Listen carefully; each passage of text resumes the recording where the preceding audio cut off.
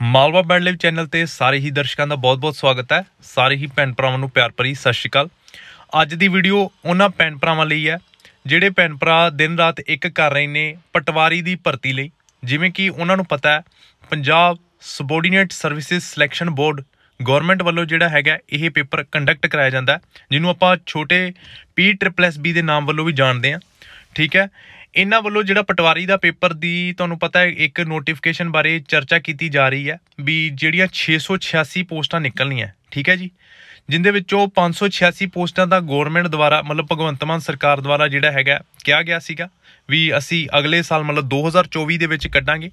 ਮਗਰ 100 ਸੀਟਾਂ ਜਿਹੜੀਆਂ ਕਿ ਵਿਹਲੀਆਂ ਰਹਿ ਗਈਆਂ ਸੀ ਪਿਛਲੇ ਸਾਲ ਦੀ ਭਰਤੀ ਕਰਕੇ, ਕਿਉਂਕਿ ਬਹੁਤ ਸਾਰੇ ਇਹੋ ਜਿਹੇ ਕੈਂਡੀਡੇਟ ਸੀ ਜਿਨ੍ਹਾਂ ਨੇ ਹੋਰਾਂ ਗਵਰਨਮੈਂਟ ਜੌਬਸ ਦੇ ਵਿੱਚ ਅਪਲਾਈ ਕੀਤਾ ਸੀ, ਜਿਸ ਦੇ ਵਿੱਚ ਉਹਨਾਂ ਨੇ ਉੱਥੇ ਜੁਆਇਨਿੰਗ ਲੈ ਲਈ। ਹੁਣ ਜਿਹੜੀਆਂ 100 ਸੀਟਾਂ ਐਕਸਟਰਾ ਵਧੀਆਂ 686 ਪੋਸਟਾਂ ਲਗਭਗ ਹੋ ਗਈਆਂ, ਠੀਕ ਹੈ ਜੀ?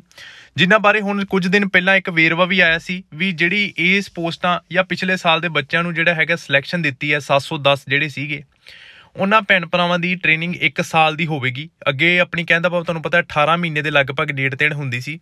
ਤੇ ਜਿਹੜਾ ਖਰਚਾ ਸੀ, ਉਸ ਦੇ ਵਿੱਚ ਵੀ ਵਾਧਾ ਕੀਤਾ ਗਿਆ ਸੀ, ਜਦੋਂ ਭਗਵੰਤ ਮਾਨ ਸਰਕਾਰ ਵੱਲੋਂ ਪਟਵਾਰੀ ਦੇ ਇਹ ਨੋਟੀਫਿਕੇਸ਼ਨ ਬਾਰੇ ਜਾਣਕਾਰੀ ਦਿੱਤੀ ਗਈ ਸੀ, ਜਿਹੜਾ ਕਿ ਆਪਾਂ ਨੂੰ ਟ੍ਰੇਨਿੰਗ ਟਾਈਮ 5000 ਦੇ ਕਰੀਬ ਖਰਚਾ ਮਿਲਦਾ ਸੀ ਬਟ ਹੁਣ ਇਹ ਜਿਹੜਾ ਹੈਗਾ ਉਸ ਤੋਂ ਜ਼ਿਆਦਾ ਹੋ ਚੁੱਕਾ ਹੈ। ਮਤਲਬ 15 16000 ਦੇ ਕਰੀਬ ਤੁਹਾਨੂੰ ਅੱਧਾ ਮਤਲਬ ਖਰਚਾ ਮਿਲੇਗਾ। ਉਸ ਤੋਂ ਬਾਅਦ ਜਦੋਂ ਤੁਹਾਡੀ ਟ੍ਰੇਨਿੰਗ ਖਤਮ ਹੁੰਦੀ ਹੈ ਤੇ ਐਕਸਟਰਾ ਜਿਹੜੀ ਹੈਗੀ ਹੈ, ਉਹ ਜਿਹੜਾ ਪੇਮੈਂਟ ਮਿਲਦੀ ਹੈ, ਮਤਲਬ ਕਹਿਣ ਦਾ ਭਾਵ ਜਿਹੜੇ ਅਲਾਉਂਸ ਵਗੈਰਾ ਪੈਂਡਿੰਗ ਪਏ ਹੁੰਦੇ, ਉਹ ਵੀ ਮਿਲਣਗੇ ਤੇ ਤਨਖਾਹ ਵੀ ਤੁਹਾਡੀ ਜੈਨੂਨ ਜਿਹੜੀ ਸ਼ੁਰੂ ਹੋਊਗੀ।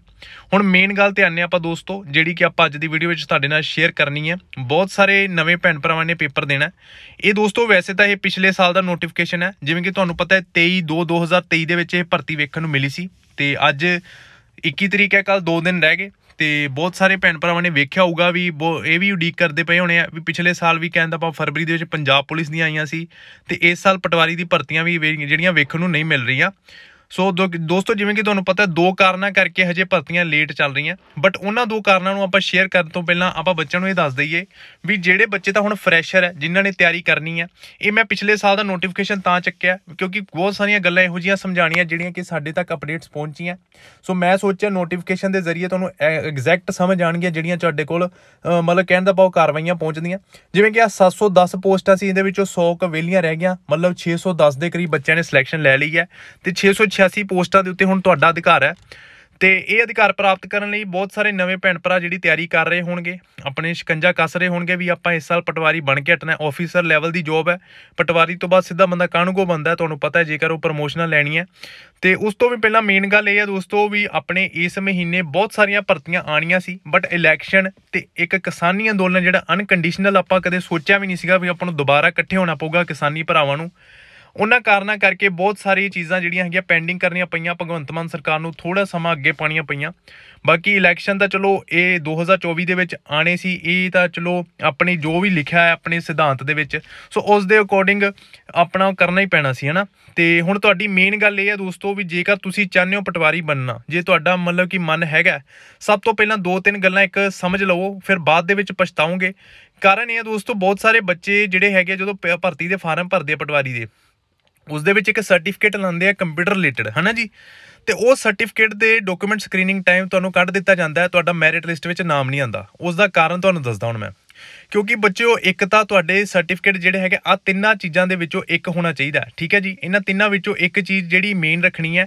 ਜੇ ਤੁਸੀਂ ਇਹ ਸਰਟੀਫਿਕੇਟ ਨਹੀਂ ਬਣਾਇਆ ਹੋਇਆ, ਤਾਂ ਤੁਸੀਂ ਰਹਿ ਜਾਓਗੇ। ਕਿਉਂਕਿ ਗਵਰਨਮੈਂਟ ਅੱਜਕੱਲ ਬਹੁਤ ਮਤਲਬ ਕਿ ਡੈਪਥ ਦੇ ਵਿੱਚ ਤੁਹਾਡੀ ਚੈਕਿੰਗ ਕਰ ਰਹੀ ਹੈ ਡਾਕੂਮੈਂਟਸ ਦੀ ਤੇ ਇਸ ਸਾਲ ਵੀ ਬਹੁਤ ਸਾਰੇ ਪੰਜਾਬ ਪੁਲਿਸ ਦੇ ਅਧਿਕਾਰੀ ਜਿਹੜੇ ਚੁਣੇ ਗਏ ਸੀ ਬੱਚੇ, ਹਨਾ, ਉਹ ਵੀ ਬਹੁਤ ਸਾਰੇ ਰਹਿ ਚੁੱਕੇ ਇਸੇ ਕਾਰਨਾ ਕਰਕੇ ਉਹਨਾਂ ਨੇ ਡਾਕੂਮੈਂਟਸ ਕਈ ਜਾਲੀ ਲਾਏ ਹੋਏ ਸੀ। ਹੁਣ ਧਿਆਨ ਨਾਲ ਇੱਕ ਗੱਲ ਸੁਣਿਓ ਵੀ ਜੇਕਰ ਤੁਸੀਂ ਕਿਸੇ ਵਧੀਆ ਯੂਨੀਵਰਸਿਟੀ ਤੋਂ ਗ੍ਰੈਜੂਏਸ਼ਨ ਕੀਤੀ ਹੈ। ਉਸ ਤੋਂ ਬਾਅਦ ਤੁਹਾਡੇ ਕੋਲ ਇੱਕ ਕੰਪਿਊਟਰ ਐਕਸਪੀਰੀਅੰਸ ਸਰਟੀਫਿਕੇਟ ਹੁੰਦਾ ਹੈ, ਠੀਕ ਹੈ ਜੀ, ਜਿਹੜਾ ਕਿ ਜੇ ਤਾਂ ਤੁਸੀਂ ਬੀਟੈਕ ਆਈਟੀ ਰਿਲੇਟਡ ਕੋਈ ਵੀ ਜੌਬ ਕੀਤੀ ਹੈ, ਮਤਲਬ ਸੌਰੀ ਡਿਗਰੀ ਕੀਤੀ ਹੈ, ਤਾਂ ਪਲੀਜ਼ ਤੁਹਾਨੂੰ ਵੀ ਇੱਕ ਐਕਸਪੀਰੀਅੰਸ ਸਰਟੀਫਿਕੇਟ ਲੈਣੇ ਜ਼ਰੂਰੀ ਹਨ। ਜੇਕਰ ਤੁਹਾਡੇ ਇਸ ਅੰਡਰ ਦੇ, ਮਤਲਬ ਕਹਿਣ ਦਾ ਭਾਵ ਇਸ ਦੇ ਅੰਡਰ ਆਉਂਦੇ ਹਨ, ਜਿਹੜੀਆਂ ਜਿਹੜੀਆਂ ਮੈਂ ਚੀਜ਼ਾਂ ਦੱਸੂਗਾ, ਸ਼ਾਇਦ ਤੁਹਾਡੇ ਕੋਲ ਹੋਣ ਵੀ, ਤੇ ਜਾਂ ਜਾਂ ਫਿਰ ਤੁਸੀਂ ਕਹਿਣ ਦਾ ਭਾਵ ਆਪਣੇ ਕਾਲਜ ਇੰਸਟੀਚਿਊਟ ਜਾਂ ਲੋਕਲ ਕਿਸੇ ਕੰਪਿਊਟਰ ਸੈਂਟਰ ਦੇ ਜ਼ਰੀਏ ਤੁਸੀਂ ਬਣਵਾ ਸਕਦੇ ਹੋ, ਠੀਕ ਹੈ ਜੀ। ਲਗਭਗ ਮਹੀਨੇ ਦੇ ਵਿੱਚ ਇਹ ਸਾਰੇ ਬਣ ਜਾਂਦੇ ਜੇਕਰ ਤੁਸੀਂ ਚਾਹੁੰਦੇ ਹੋ, ਠੀਕ ਹੈ।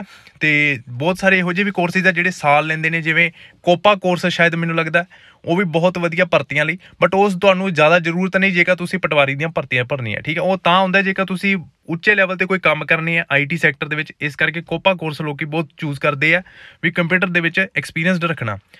ਸੋ ਸਭ ਤੋਂ ਪਹਿਲਾਂ 120 ਘੰਟਿਆਂ ਦਾ ਤੁਹਾਡੇ ਕੋਲ ਇੱਕ ਪਰਸਨਲ ਵਰਕਿੰਗ ਐਕਸਪੀਰੀਅੰਸ ਵਾਲਾ ਜਿਹੜਾ ਹੈਗਾ ਕੰਪਿਊਟਰ ਦਾ ਸਰਟੀਫਿਕੇਟ ਹੋਣਾ ਚਾਹੀਦਾ। ਮਤਲਬ ਤੁਸੀਂ ਇੱਕ ਹਫਤਾ ਕੰਪਿਊਟਰ ਕਲਾਸਿਸ ਲਗਾ ਲਓ ਕਿਸੇ ਵਧੀਆ ਇੰਸਟੀਚਿਊਟ ਦੇ ਵਿੱਚ, ਉਹ ਤੁਹਾਨੂੰ ਟੈਸਟ ਲੈਣਗੇ, ਉਸ ਤੋਂ ਬਾਅਦ ਤੁਹਾਡਾ ਸਰਟੀਫਿਕੇਟ ਅਪਲਾਈ ਕਰਾ ਦੇਣਗੇ, ਜਿਹੜਾ ਕਿ ਜਿਹੜਾ ਕਿ ISO 9001 ਸਰਟੀਫਾਈਡ ਹੋਊਗਾ।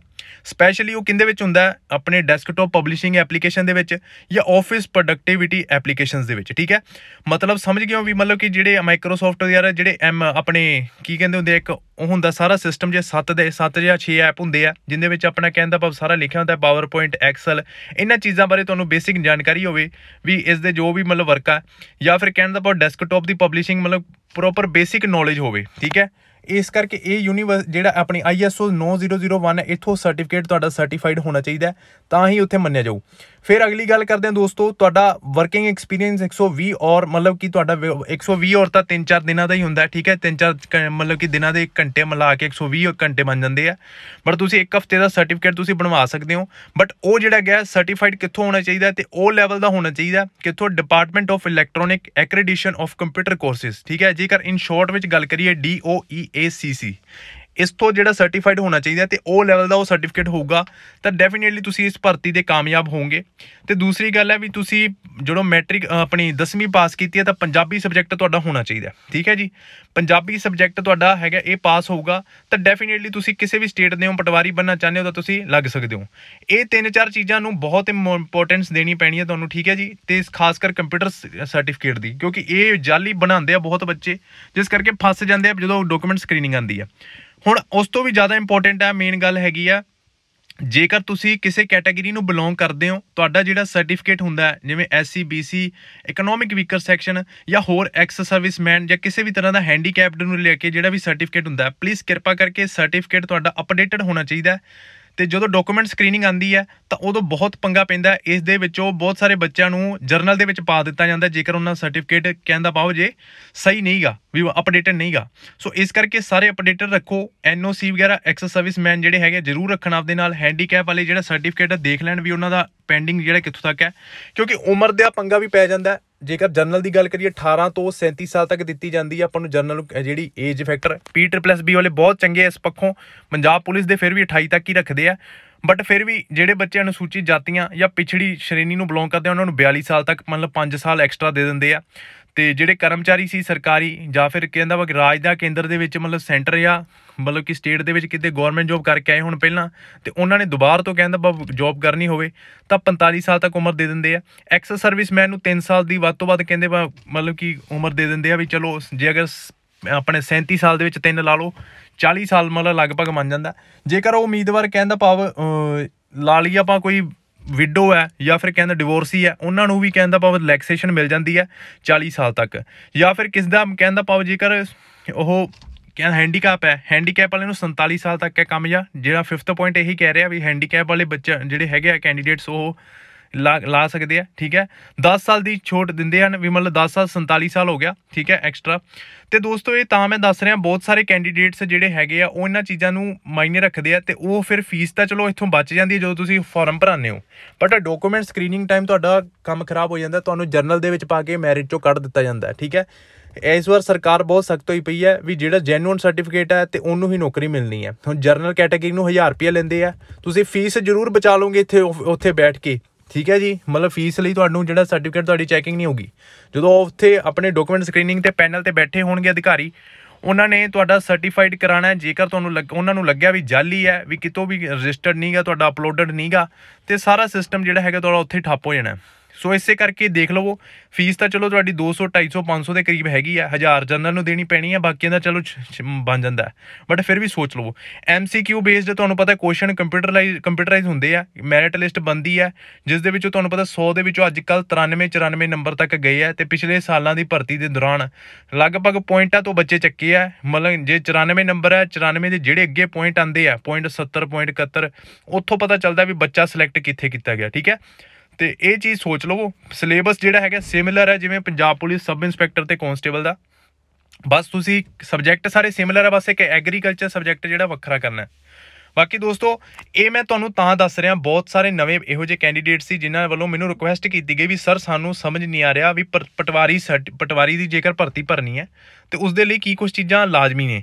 ਸੋ ਮੈਂ ਚਾਹਿਆ ਵੀ ਚੱਲ ਬੱਚਿਆਂ ਤੱਕ ਸਾਰੀ ਇਨਫੋਰਮੇਸ਼ਨ ਦੁਬਾਰਾ ਇੱਕ ਵਾਰੀ ਕਰ- ਕੀਤੀ ਜਾਵੇ, ਕਿਉਂਕਿ ਇਹ ਪਿਛਲੀ ਭਰਤੀ ਜਿਹੜੀ ਇਸ ਮਹੀਨੇ ਆਈ ਸੀ 2023 ਦੇ ਵਿੱਚ ਤੀਜੀ ਨੂੰ, ਠੀਕ ਹੈ? ਬਟ ਹੁਣ ਇਸ ਸਾਲ ਆਪਾਂ ਨੂੰ ਥੋੜੀ ਜੀ ਗਾਂਹ ਹੋ ਗਿਆ ਕੰਮ। ਕਾਰਨ ਇਹੀ ਹੈ, ਵੋਟਾਂ ਤੇ ਇੱਕ ਆਪਣੇ ਕਿਸਾਨ ਭਾਈ ਜਿਹੜੇ ਹੈਗੇ ਆ, ਹਜੇ ਤੱਕ ਬੜੇ ਡਟੇ ਹੋਏ ਆ, ਬਹੁਤ ਚੰਗੀ ਗੱਲ ਹੈ ਆਪਣੇ ਹੱਕਾਂ ਲਈ, ਕਿਉਂਕਿ ਆਪਣੇ ਪੰਜਾਬ ਦੇ ਕਿਸਾਨ ਦੀ ਬਹੁਤ ਕਿਸਾਨ ਜਿਹੜੇ ਹੈਗੇ ਬਹੁਤ ਮਿਹਨਤੀ ਆ। ਤੇ ਜਿੰਨਾ ਕਰਕੇ ਅੱਜ ਆਪਾਂ ਇੱਥੇ ਰੋਟੀ ਪਾਣੀ ਖਾ ਰਹੇ ਆ ਤੇ ਮੈਂ ਉਮੀਦ ਕਰਦਾ ਤੁਸੀਂ ਵੀ ਸਾਥ ਦੋਗੇ ਕਿਸਾਨ ਭਰਾਵਾਂ ਦਾ, ਵੱਧ ਤੋਂ ਵੱਧ ਹੁੰਗਾਰਾ ਭਰੋ ਤੇ ਜੋ- ਕੋਸ਼ਿਸ਼ ਕਰੋ ਕਿਸਾਨ ਜਥੇਬੰਦੀਆਂ ਨੂੰ ਵੱਧ ਤੋਂ ਵੱਧ ਸਪੋਰਟ ਕਰੋ, ਜੇ ਸ਼ਰਧਾ ਹੁੰਦੀ ਆ ਉੱਥੇ ਜਾ ਕੇ ਸੇਵਾ ਵੀ ਕਰੋ, ਕਿਉਂਕਿ ਮੈਨੂੰ ਖੁਸ਼ੀ ਹੋਊਗੀ ਵੀ ਆਪਣੇ ਪੰਜਾਬ ਦੇ ਜਿਹੜੇ ਬੱਚੇ ਨਹੀਂ ਵੀ ਕਿਸਾਨੀ ਨਾਲ ਜੁੜੇ, ਉਹ ਵੀ ਕੋਸ਼ਿਸ਼ ਕਰ ਰਹੇ ਆ ਵੀ ਕਿਸਾਨ ਭਰਾਵਾਂ ਨੂੰ ਆਪਾਂ ਮਤਲਬ ਪਿੱਠ ਉਹਨਾਂ ਦੀ ਥਾਪੀਏ ਵੀ ਤਾਂ ਕਿ ਉਹ ਅੱਗੋਂ ਮਜ਼ਬੂਤੀ ਨਾਲ ਲੜਨ। ਜਿਵੇਂ ਤੁਹਾਨੂੰ ਪਤਾ ਹੈ, ਫੌਜਾਂ ਦੇ ਬੈਕ ਸਾਈਡ ਤੋਂ ਜਿਹੜੇ ਹੈਗੇ ਆ, ਬਹੁਤ ਸਪੋਰਟਰ ਹੁੰਦੇ ਜਿਵੇਂ ਆਪਾਂ ਸਪੋਰਟ ਕਰਦੇ ਆ ਵੀ ਫੌਜਾਂ ਆਪਣੀਆਂ ਜਿਹੜੀਆਂ ਹੋਰਾਂ ਦੇਸ਼ਾਂ ਨਾਲ ਜੇਕਰ ਲੜਾਈ ਹੁੰਦੀ ਆ ਤਾਂ ਰੱਜ ਕੇ ਹਮਲਾ ਕਰਨ ਤੇ ਸਾਨੂੰ ਬਚਾਣ ਤੇ ਉਵੇਂ ਹੀ ਤੁਸੀਂ ਉਹਨਾਂ ਨੂੰ ਪੂਰੀ ਸਪੋਰਟ ਕਰਨੀ ਹੈ, ਉਹਨਾਂ ਨੂੰ એનર્ਜੀ ਦੇਣੀ ਹੈ ਮੋਟੀਵੇਟ ਰੱਖਣਾ ਤੁਸੀਂ, ਜਿਸ ਕਰਕੇ ਆਪਣੇ ਜਿਹੜੇ ਹੱਕ ਹੈ, ਉਹ ਵਾਪਸ ਆ ਜਾਣ। ਠੀਕ ਹੈ ਮਤਲਬ ਕਿ ਮਿਲ ਜਾਣ ਆਪਾਂ ਨੂੰ, ਠੀਕ ਹੈ? ਜਿਹੜੇ ਹੱਕਾਂ ਦੇ ਆਪਾਂ ਕਾਬਿਲ ਹੈਗੇ ਆ। ਸੋ ਬਾਕੀ ਮੀਟਿੰਗਾਂ ਚੱਲ ਰਹੀਆਂ, ਦੇਖੋ ਕੀ ਸੀਟਾਂ ਨਿਕਲਦਾ।